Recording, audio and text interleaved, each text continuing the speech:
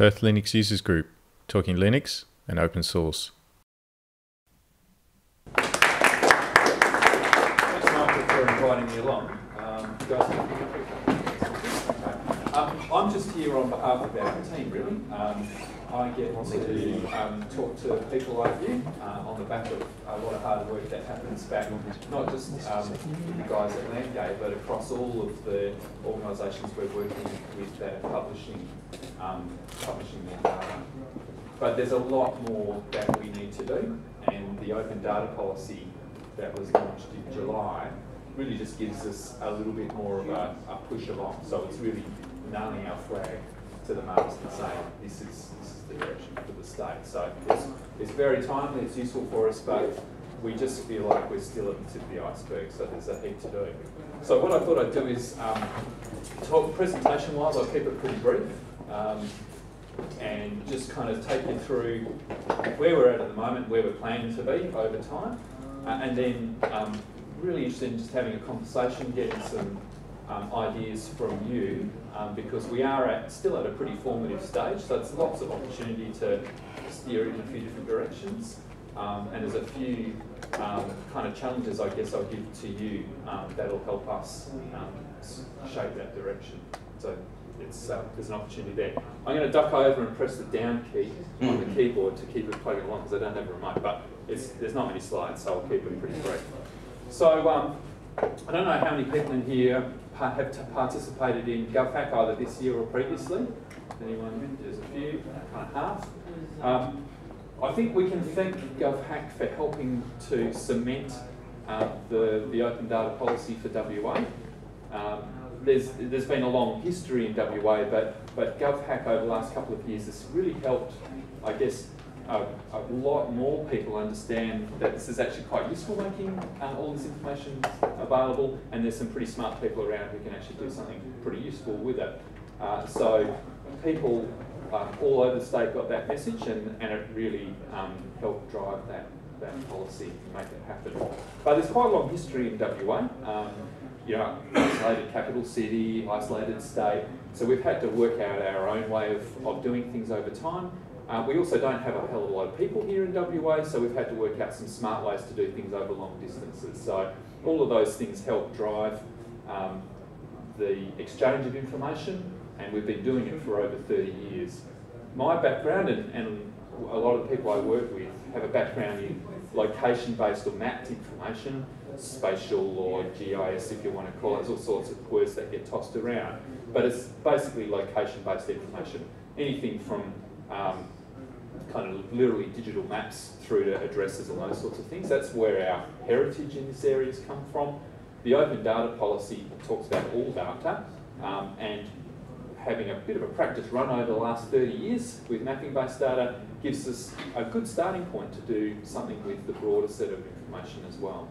Um, so we've been doing that since the 80s when you know that computing technology first became really accessible.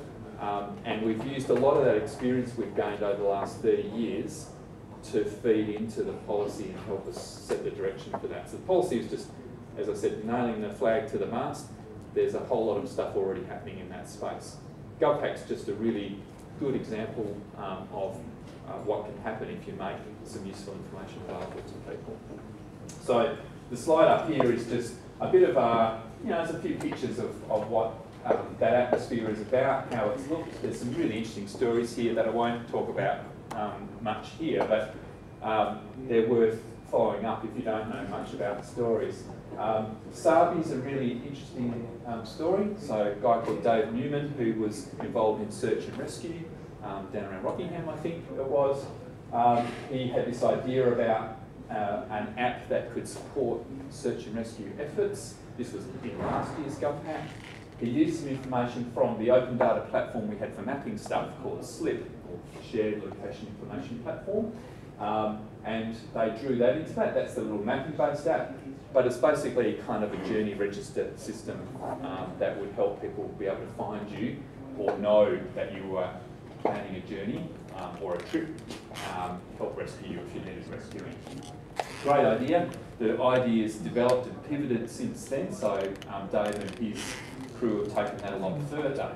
But the thing that was really interesting about that app was that the, the developer for that um, was, I think, 15 years old at the time. Um, genius of a, of a kid, literally. Um, and, and so we were interested in tapping into that kind of young um, interest and spark there as well. Talk about that a bit later. Bus hack is just an example of using um, public transport data. Another kind of example, this is a kind of cool stuff that you can look at. Um, worth kind of Googling that one as well. You'll find it in the GovHack site where you can track it down. Really interesting use and, and tells a bit of a story about how people actually move around the city. It's not real time, but it could be. I guess that's that would be an interesting challenge for next year. And the rest of it is giving you an idea of the atmosphere that we're dealing with. So a lot of ideas kick off on the Friday night, done over the weekend. By the time they finish on Sunday night, a lot of those ideas have evolved very differently. It's a great um, opportunity for, for our team, the Open Data team, to get in there and understand how people are actually trying to use it. Even this year, after we've been doing this for three years, coming in here over the weekend, you kind of realise what you're missing. You think you're setting it up in an obvious way and making it easy, and then you realise just how tricky it is sometimes. So, you know, we've got a long way to go still on that front as well.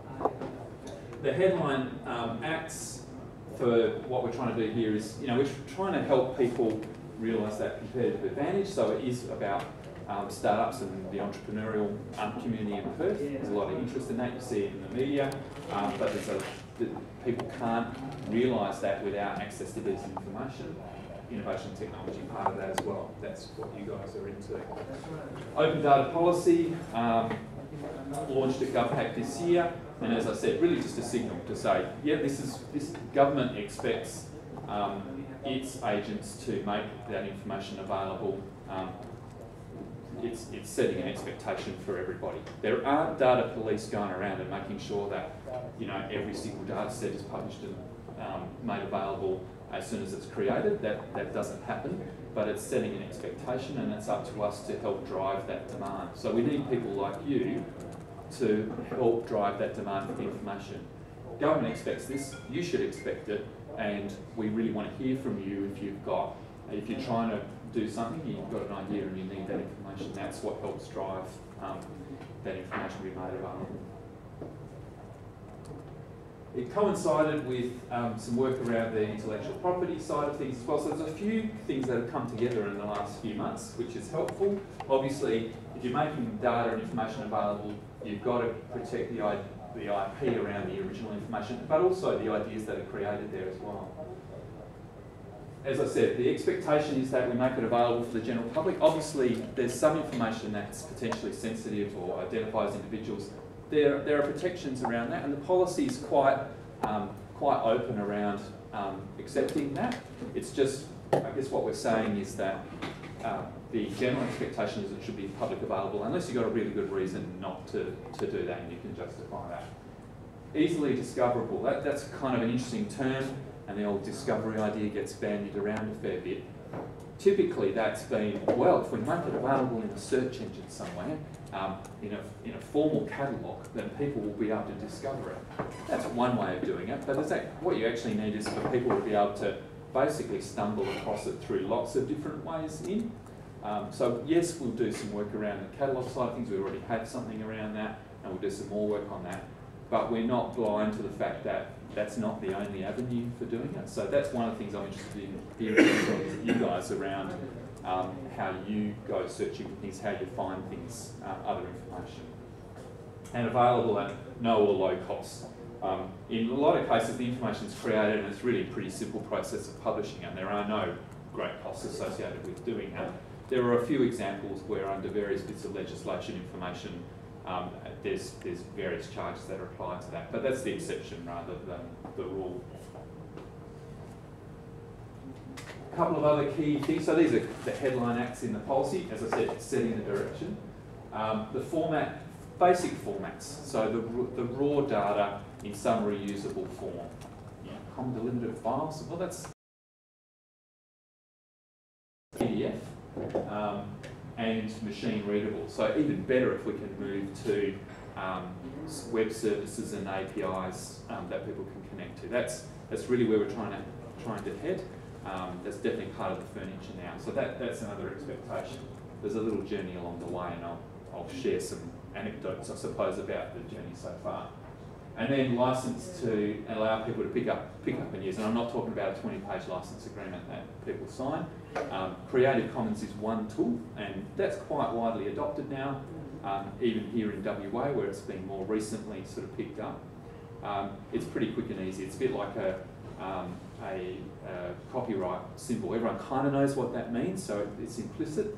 Um, and when you pick it up, or it's explicit, I should say, and, and when you pick it up, um, the Creative Commons licensing, it's people know what that means just through a symbol.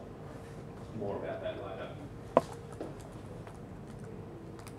Um, and just a bit more on that. So that's pretty much what I've just said there. If you've got licensing and it works for you, just use that. Don't don't overcomplicate it. Um, look at Creative Commons as an easy way to share the information because it's it's easy to get the information across. Um, I might skip that. That's just Creative Commons licensing if you haven't seen it before. Um, it's pretty basic. So it just uses symbols basically to, to let you know straight away what the what the publisher expects you to be able to do with that information. So it goes everywhere from, um, well, just acknowledge us as the source, right through to um, this this is protected. You, you don't we you're not licensed to use it for commercial use, and everything in between. Uh, that's pretty much what that is. Some examples of how we put it to use. So I talked about how we've had a bit of a heritage in doing this in the location and map space. This is one example of that. So this thing Slip's been around for a while. Um, the idea here is this is one way of finding information. So we've just, there's a few thousand data sets that are made available through this platform. This, as I said, tip of the iceberg. Um, but what we've done is bundle them up in some logical ways. So rather than people having to go and find every individual record um, or data set, it's, it's put into collections that people can access. So in this case, we've got some public services there, and you can see those themes there, you know, culture and society, environment, infrastructure, um, property planning and resources. Well, that's, that's fairly obvious what those might be. And then drilling into those a bit further, you have various linkages here. So this is map stuff, and we've been able to make that available in a Google Map form for the everyday person. A lot of times they'll go to one of these maps, they'll create a shortcut, and they'll never visit that other website again, which is fine they got what they need. And we've been able to set up those kind of services for lots of different businesses, a little custom view for them, or a common operating picture that's got all the information they need. They can put their own business stuff over the top. That's why they're doing it. WMS and WMTS, there's a couple of flavors of web services in there. There's web feature services in there as well. There's KML. So there's a few flavors. Not a bad start, but lots of other things we could do there as well. And in some cases, we can make the data available in what it was uploaded in first place. That's okay. There's, there's a little bit of a start there. We're pretty, I guess our experience with the um, things like GovHack over the last couple of years is that you know, web services can be a bit scary for a lot of developers. There's a bit of fiddling around you have to do to connect to those. Again, API access is a lot easier, good documentation around it makes life a lot easier for people. And if you haven't got that, then things like a comma delimited file or the raw data is actually quite useful. You can play around with it. Um, this is an example of the licensing side of things. So again, it sounds could be complicated, but it's as simple as this. So someone's using this particular map presentation of the data, this, you, you, can imagine this is also available as a web service feed with all of those endpoints in it. So if you want to pick it up programmatically, people can connect to that if they want to do that in this case it's presented as a map. And you can see there's a link to the licensing there at the bottom of that little pop-up box there. That's it. It just says, here's the layout, this is the licensing associated with it, and that's it. And it's just a little badge uh, there. So it's not complicated. Um, people got that idea, and then there's a link off to the Creative Commons there if you want a bit more information. This was our um, first go at a, at a catalogue last year. So we used to have just a list of all the data one way of doing it. Um, last year we launched this thing, which is a, a, takes it a step further. This is similar to some of the other portals you see around. So here's one another way of finding information. So rather than me going to those pre-configured sets, here's um, a catalogue that I can search. So I'm just going to put in um, coast as I did there. I'm interested in stuff on the coast. Um, so it shows me what area the data covers. There's a bit of metadata in there that tells me about where it's come from. And then um, in that little record there, I can find the tags and a link to the data. And again, there's all the flavors um, that are available for that one. I can grab those and stick those into my application if I want to, if I want that data streamed to me. And as the data is updated in the background, you get that as well. Um, so that's one way of doing it. There's also there's been an API connector for that, uh, which has been quite useful. Unfortunately, Google have decided to decommission the little platform we were using for this called Google Maps Engine, so we're going to have to switch to another one over the next few months. But there'll still be the same types of services there. All of those will be anyway. Um, so pretty straightforward connection. So compare that, which is, you know, sort of go back to searching there, to what happens in other states at the moment. So this is the Commonwealth one. This is the Commonwealth that, uh, Open Data Platform, data.gov.au. Pretty similar. There's a little search thing up the top. I can put in coast there, and it'll turn up similar kind of results. I think I've got an example in there. Have Yeah. Um, so this is interesting. So very similar results there. There's a list of the stuff, and underneath you can see those different formats there. But in this case, there's um, the CSV format file. There's a JSON file in there as well, and HTML. There's a few other connectors. So um, there's even a PDF in that last one there. Not so useful. Um, but you've got to start it somewhere. So in the lead up to GovHack um, a few weeks ago, month ago now, um, it was quite interesting. The, the policy was just coming out. There was a message that went out to all the um, agencies here in WA, and they basically said, we expect you to publish some stuff for GovHack. Go forth and do it. We got a lot of phone calls back at the Landgate end, and we put our little team into action, all three of us, and dealt with the phone calls. And it was it was a real journey. So you had people coming from all over the place. People had never touched this stuff before. That's good and you have conversations with them and they go, right, I've got some data to share with you and it's here it is. And they'll send you a link to a website, their website somewhere with a PDF document on it. Okay, so there's point one in the conversation. You go back and you say, well, there's some information in that report that's kind of interesting. Can we get access to that? Da-da-da, goes back. Oh, yeah, sure. We'll send you a chart. So there was one example, some data, it was a report, and it had quite a simple chart in it showing uh, with, a, with a graph in it, with about six points on the graph. And we said, oh, that's quite interesting. Can we get, can you share that data behind that? Sure, we can. Uh, a few minutes later, got the email. Here it is, Excel file with six records in it. Here are the data points for the chart. Okay, so you take another conversation, you go back um, with them a little bit further. Eventually, you get sort of to the root of it. And on, I think it was the day before, I go, it might have even been the morning of. Um, we got another phone call. What's this about licensing?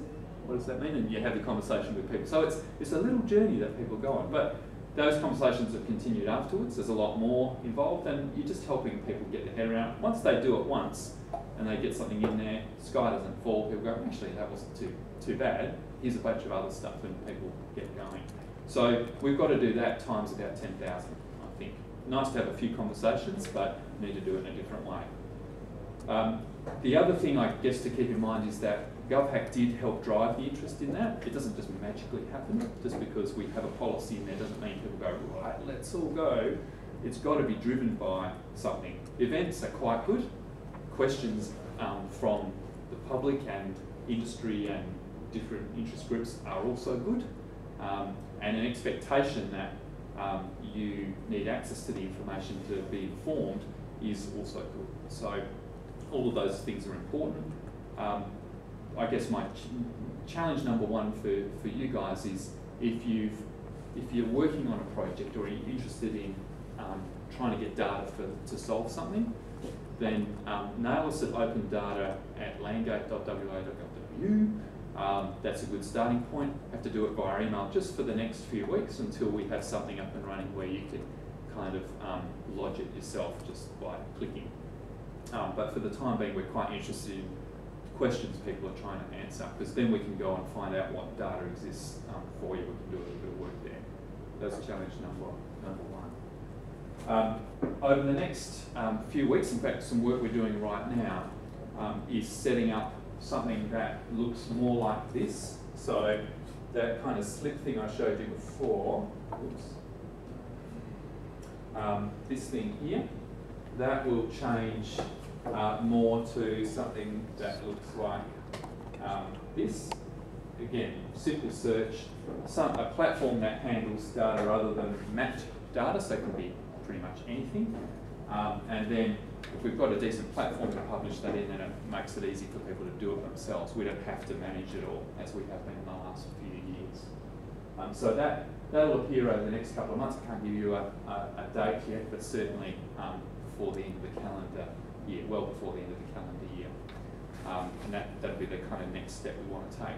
The other thing that we will have appear in that a little bit later this year is um, we'll have a basic search like that, but then we're planning on having our kind of try our experimental search. So we're working with a research program at the moment um, on uh, human language queries. So rather than um, try and look for a keyword, actually putting in a phrase or something that um, connects things together or a few keywords. And we're going to use um, some experimental work we're doing at the moment on how those how those are connected together and how we as humans might interpret that. Um, so we're going to collect some research data on the types of questions people are asking. So have a go at that when you see it here.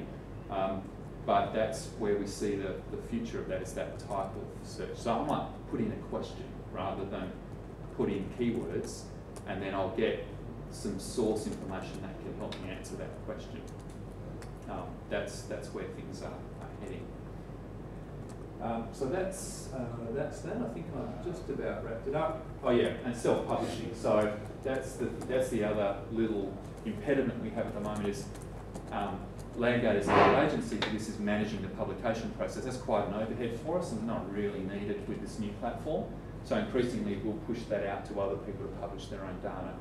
It doesn't have to be restricted to government, that's just where our mission is at the moment and obviously we've got some, um, some impetus to do that.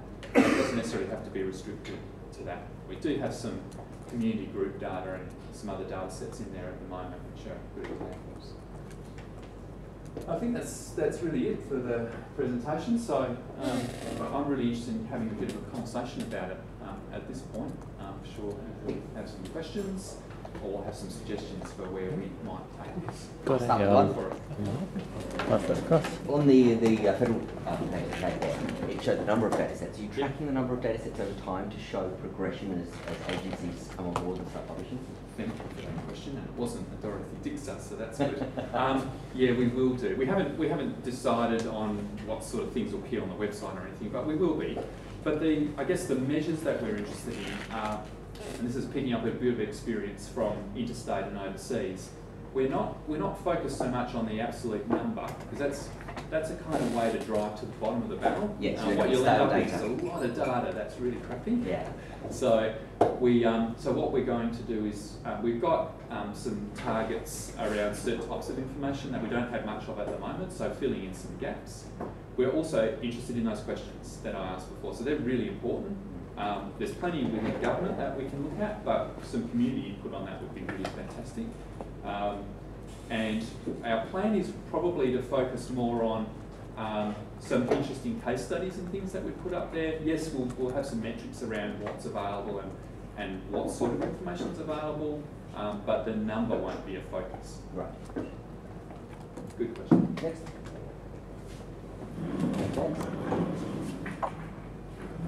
Um, so you're using uh, Creative Commons licenses. That's um, one option. There's, I mean, one thing I've been annoyed about them is that there's a huge range. Where you Yeah. get all the way from just a BY license, which can do pretty much anything, Yeah. through to the other end of no derivatives, no, no commercial use, and when people just say Creative Commons, it sort of doesn't really mean much. Which, Yep.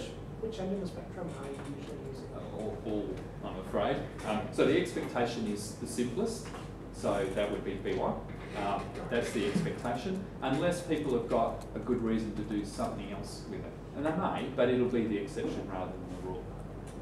But it will be a bit of a self-management thing. We don't have, like I said, we don't have open data police going around and, and examining those things in detail. It's a, it's a, I think we, we will be driven by the community expectation there. Um, you were showing an example of CKAN, which is a tool that data.gov, data.gov and data.gov.au both use. Yep. Um, is that going to be the tool for the Yep. next one? Oh, Yeah. good. I didn't want to have to berate you for building anything that you didn't want, you know, shouldn't. Yep. Uh, yes, it will be. Excellent. It's being built as we speak, or set up as we speak. Thank you So much. Yeah. I'm glad that's good news. Couldn't get anything out of slip all weekend, got everything from data.gov.au, Okay, literally. and totally get that. Yeah. So uh, I'd be interested to know what sort of feedback you've had from other government agencies. Um, I know you sort of mentioned that a few people were, like, you know, they had PDFs or they weren't really, Yeah. they didn't really understand the idea of opening data and making the machine Yeah. readable. Um, but how, have people been excited about it or have they been like a bit worried about all their data, you know, being, being given Uh, away? Yes and yes. So I think there's, there, there there definitely is a kind of it's the right time thing, and I think um, people got pretty excited about GovHack. What was really interesting is you heard, you heard that being talked about um, even in the public sector at quite senior levels, so people kind of got it. Um, obviously, when GovHack first appeared on the scenes, people kind of, you want to do what? Um, interesting name, but it was, but we've gone past that that pretty quickly, and yeah, it did it did drive heavily the um, you know the finish of that policy. Um, and yes, there are definitely people around that go, ooh, I'm not I'm not so sure. So I think every presentation I've been to about this stuff over the last few months, and I've done a few of them, there's at least um, there's been at least two questions from people that I know are data publishers saying, oh look, I'm really not sure because my data is complex and people really need to have a conversation with me because I know my data and it's much better if they, if there's a phone number and they ring me up and speak to me. Um, or um, I'm really opening myself potentially to legal action here, so I'll need to put in safeguards. And our answer to that generally is the community expectation these days in, and the way that we work with data is that we can't, you can't have every person who uses it having a conversation with you. That's just not going to work. So we need to find some other way of doing that. And secondly, um, we it's not just in WA. We've been doing this around the world and across Australia for a long time, and the sky hasn't fallen in. We don't see people getting sued left, right, and centre. So you're on pretty safe ground. There are there are good safeguards um, and protections around um, the licensing, and even within Creative Commons 4 now, um, there's some good safeguards in there. So um, you know, the interests of publishers are quite well protected within that. Yeah. But whether that's accepted by some people, I, I can't answer. I can guess not, and it's Well- just a little trip. That's it, because I, where I work, I've got some data that I'd love to open up, but it's, it's more a question of can I convince management that this is, you know, good to give it out to everyone? Cool down you Um, yeah, well, Well, and I don't, you know, like I said, we don't have the open data police saying thou shall do it, um, particularly if it's outside government. It's just, I think again, we can, you can call on community expectation. It's just, you know, people have an expectation to that, and they're right to do that. And secondly, the experience as well has shown that it, it, the sky doesn't fall down.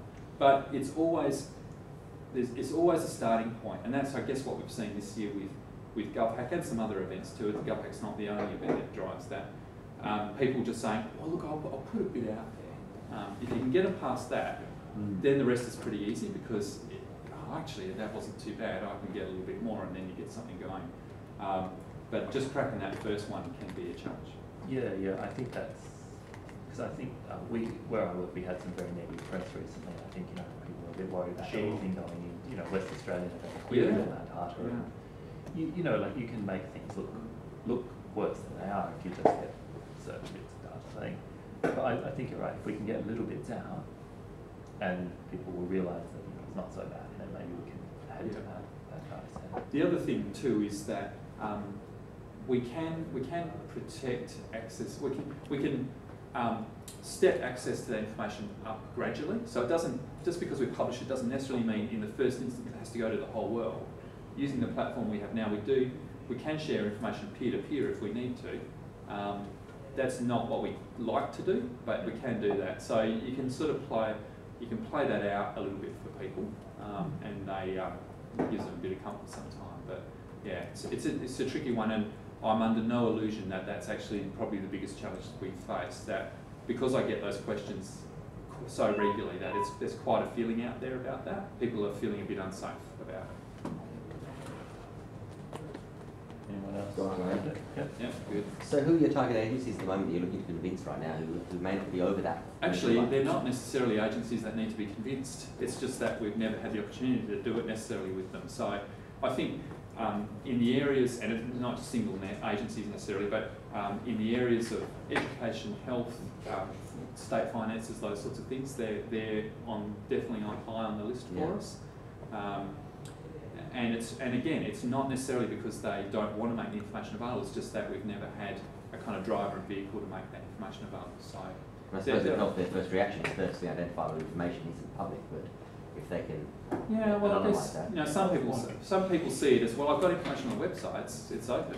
know, Um, it's not quite the same thing, so it's, you know, can we, can we at least, um, I guess the first step in people being able to use information is to know it exists. That's kind of handy, and we're not even that far with a lot of information. So, you know, even having a link to somewhere through the open data um, platform, that's a pretty good start. Pretty happy with that. Um, and then you can sort of go from there.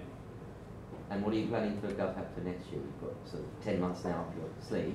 Yeah, well, I, I think there's some opportunities to do things before before the next GovHack. I'm not necessarily talking about uh, another hackathon event, No. although I do I do notice that nothing much happens now hack, hackathon wise between July and when we get to March next year. So maybe a boot camp to warm up with or something. So if someone's got a good idea for one, that's, that's kind of interesting.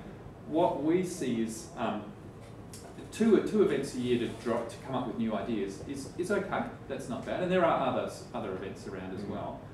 Um, next week we're actually running our first junior hackathon. So we've got 150 kids from across schools in Perth descending um, on Midland to do near near Landgate there, obviously to do some do something else, something around this. It's a little bit of a different approach, so they'll be kind of walked through a little bit, but not too much hand holding, um, which will be really interesting. Um, and I think that experience of the 15 year old turning up last year and being able to develop the app for someone says that there's actually a lot of those kids out there. We just don't have a, ve- a good vehicle for finding them, There's so we intend to fix that. So that'll be a heap of fun. But um, yeah, so there's what we see as the major gap is that once we've got all these great ideas, and there's another pile of good ones came out of GovHack this year, there's, there's not a clear way of actually doing something with them. So people like Dave Newman and, the, and on the Sabi front, you know, through sheer will and persistence, have taken that somewhere. But it's not easy, um, and it, it, I don't think you can make it necessarily easy, but there's not a clear vehicle for doing that. There's, we're seeing more and more of those kind of accelerator programs, but they are, you know, they're identifying some some ones, and it's an opportunity for some, but not a broader spectrum there. So we're quite interested in being able to help out with that gap in there. There's some good stuff that we're not helping take to the next level. So that that you know, the accelerator idea is quite interesting for us. Maybe we can do something to help on that front. Next. Yeah, pretty good questions. There's bound to be some more. Um, Yeah, go. So, uh, obviously Landgate is doing some really good stuff. Are there any other agency that you've been really impressed with that have come back and said, yeah, we've got lots of stuff? Um, or is there any? Uh, well, we've, I mean, we've been working consistently with about 40 for the last um, decade or so, so it's quite a bit serviced from there. It's been very location focused because that's what our heritage is in. Um, we've got a good vehicle to do a lot more with those 40 odd. I won't attempt to list them all, there's quite a lot in there. Um, and um, yeah, there's there's some newbies to that picture as well. So yeah, quite interested in um, some more we can do with health and, and the education side of things. There, there's some really good opportunities there. Um, I have to say that's been really good to be connected with Treasury and Finance through this as well. So I'm looking forward to getting some more information about about that. Um, and also, um, you know, the heritage area, state records office. There's some there's some absolute gold in there.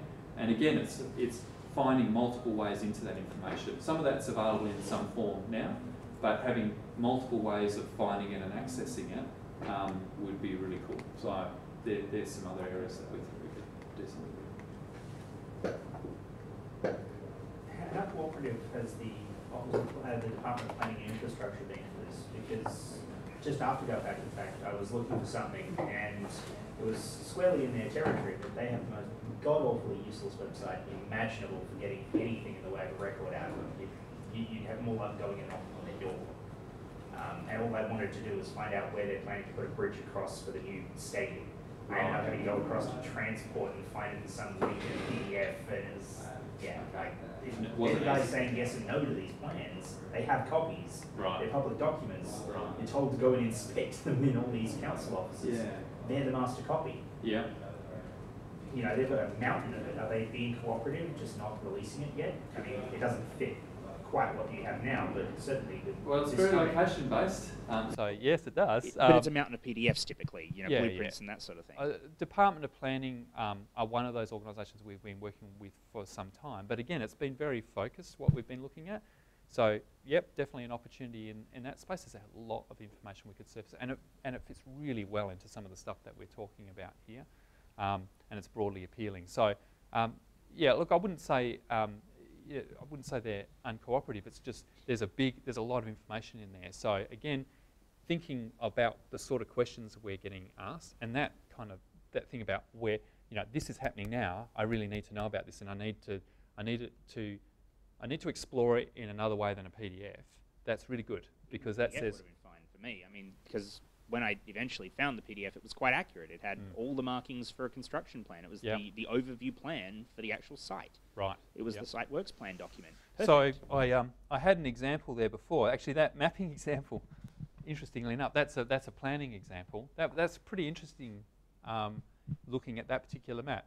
You'll notice that there's some very particular colours and styling in there. Hmm. So what we've, one of the little um, journeys we had to take with this one is actually presenting it in a way that's consistent with ways it's been presented in other forms. So that, that data there is actually presented in the same way that it is on a PDF. So there's a particular styling that's applied to that. We've got a way of doing that, um, but there's only, you know, you can see here under, well, there's property and planning. There's a bucket of data, right? And that, there's some information on regional schemes and structure plans and those things. That's okay. That's, that's good foundational stuff. Um, and we've done, also done some work with, um, you know, precincts and areas where things are planned over the next few years. That's available through there as well. But it's, again, tip of the iceberg kind of stuff. There's, there's definitely a lot more we could do there. Planning, uh, as you say, there's a lot of data there that um, we could surface there. So lots, lots of work to do. But you've got to kind of start somewhere.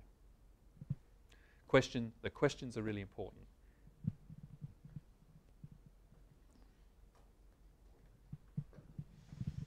That's three for Michael. He's got the Freddo Frog so far.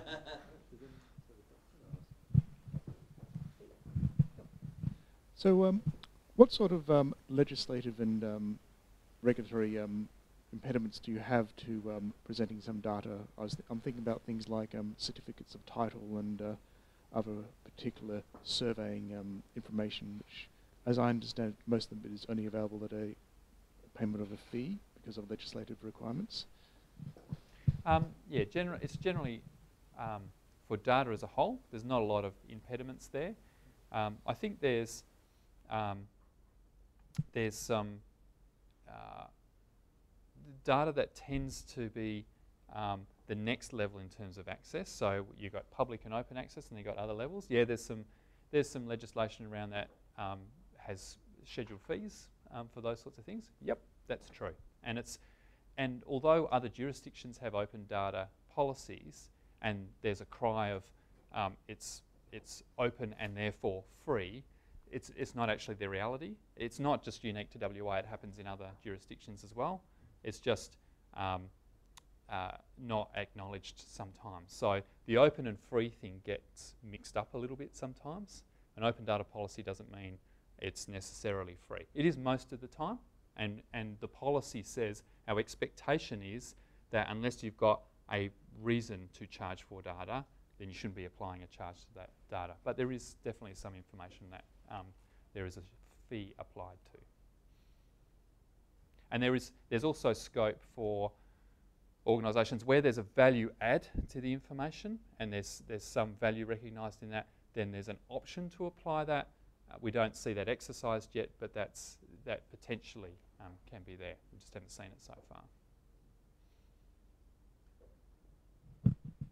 Is there a long-term view for who's likely to wind up the custodian for this kind of information? Because looking at where it's been sort of handed so far, it doesn't really match where you'd probably expect the actual budget to come for this kind of work. I mean, it, it's with Landgate mostly, from what I can see so far in the efforts, but jurisdiction-wise, it's kind of more up the alley of the state records department.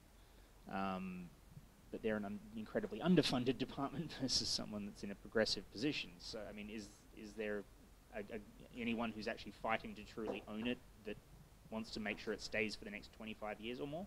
Well, I think um, the, the data, which is what we're, is, is the resource here, it's, it's always going to be created by different organisations. So the, the best approach is to be able to source it directly and without a lot of human intervention from wherever it's created. That was the principle behind SLIP, and it's the same with, open, with the open data platform. We want to be able to set up processes where people can access it through one point, but it doesn't have to be gathered into one bucket. Um, we definitely don't want to do that. Uh, it's uh, particularly when we're, you know, part of the journey we've taken the last few years is around cloud-based, a cloud-based platform. That's a pretty interesting kind of journey on itself. But we've, we've gone through most of that without too many um, dramas because you're creating a, a view of information that exists somewhere. That's a, that seems like a pretty good approach. We've just got to turn the dial up on, on, what, on the amount that we're sharing there and the quality of it. Um, so, um, so there's not, there's not intended to be, and, and there's been no discussion about a central um, holder of all the data that's responsible for all of that. It's got to, individual organisations have got to take responsibility for the data that they publish, including making that publicly available as best they do it. In terms of the platform, the reason Landgate's got it really is because we've had some experience in doing that over the last 30 years or so in sharing that, the location-based information. Well, it's one type of information, but the principles are basically the same, so that's where it is. Um, there's no discussion at the moment about um, that moving anywhere else in government, but you know, governments evolve over time, so I can't say what would happen in the future. Right now, we're, we're being supported by other organisations um, and we have a, uh, an appropriation to support um, some effort on this front. So that's, that's where it is at the moment. But uh, on the contrast, though, with not trying to ha have a central archive of these datasets, as an agency is decommissioned and a new one is started up, then the impetus of the data set that the previous agency had, and even the assets they were, were storing that on, disappeared. Um, is there any any thoughts around long-term archive of some of these data sets by SRO so that you know, this year's geospatial information isn't lost in 50 years' time? Well, there is, um, you know, there's um, records legislation and requirements around that. So agencies are required to, to should you know, to make sure they, they do that. That's a requirement. Um, there's no particular discussion around um, uh, any any separate arrangement to go and back all that but up. I guess with the comprehensive catalogue, that becomes a pretty trivial thing to do for, yeah. for SRO. And, and look, it, and, you know, a, a published version of data that's stored there and accessible from there, that's, that's a pretty good option. Mm. Um, I guess you, you, know agencies will have to work out what they do with the original record and where that's stored, and that's that's completely their um, remit to to right. deal with that. We're dealing with, uh, at, at a minimum, we're dealing with a published version of that of, of that data.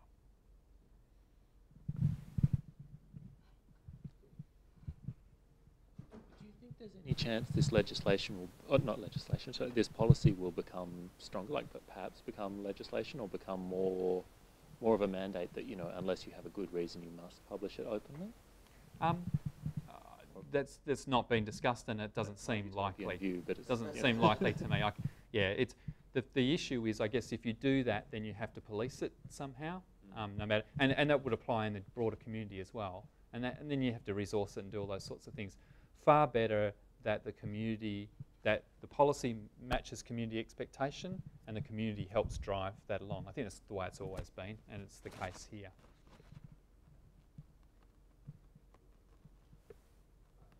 Um, does anyone else have any questions? All right, well, look, thank you, thank you very much. It's been fascinating. Um, it's something that, look, I'm personally really passionate about. I think it's it's really good, and I think Landgate's done some amazing work. You've done some amazing work. Um, so, look, thank you very much. Um, welcome. My pleasure. Thank you.